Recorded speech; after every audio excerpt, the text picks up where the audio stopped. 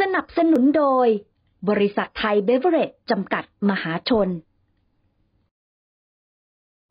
ศาลมาเลเซียตั้งข้อหาผู้บริหาร 5 รายจากเครือมินิมาร์ทและซัพพลายเออร์ของบริษัท หลังมีเกรียนคีย์บอร์ดได้อัปโหลดรูปภาพถุงเท้า ที่มีคำว่าอัลเลาะห์พิมพ์อยู่ และได้วางจำหน่ายอยู่ใน KK ซูเปอร์มาร์ทพร้อมแสดงความคิดเห็นว่า ผู้ที่สวมถุงเท้านั้นจะได้รับการคุ้มครองจากอัลเลาะห์ตั้งแต่หัวจรดเท้าขณะที่ภาพถ่ายของถุงเท้าดังกล่าว ได้ถูกเผยแพร่กระจายบนโซเชียลมีเดียอย่างรวดเร็ว และได้สร้างความไม่พอใจให้กับสาธารณชนเป็นอย่างมาก เนื่องจากชาวมุสลิมบางคนมองว่าการกระทำดังกล่าวเป็นการดูหมิ่นศาสนา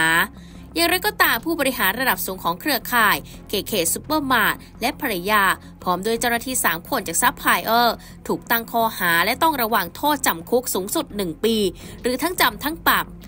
โดยต่อมาทางซัพพลายเออร์ของบริษัทได้ออกมากล่าวขอโทษว่า ถุงเท้าที่มีปัญหาเป็นส่วนหนึ่งของการจัดส่งจำนวนมาก ที่ได้สั่งซื้อไปจำนวน 18,800 คู่ จากบริษัทแห่งหนึ่งในจีน โดยระบุอีกด้วยว่ามีถุงเท้าเพียง 5 คู่เท่านั้นที่มีคำละเอียดอ่อนดังกล่าว